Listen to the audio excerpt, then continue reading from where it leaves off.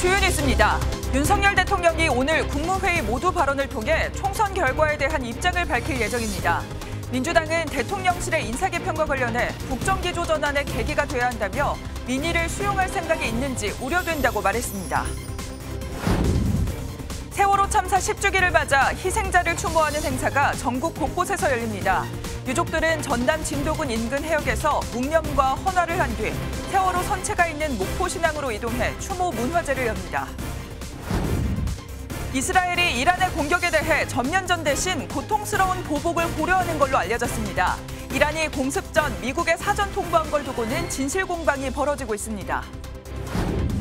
전국에 내리던 비는 오전까지 이어지다 그치겠습니다. 고비 사막에서 발원한 황사가 우리나라로 유입되면서 전국의 미세먼지가 종일 나쁨 수준을 보이겠습니다.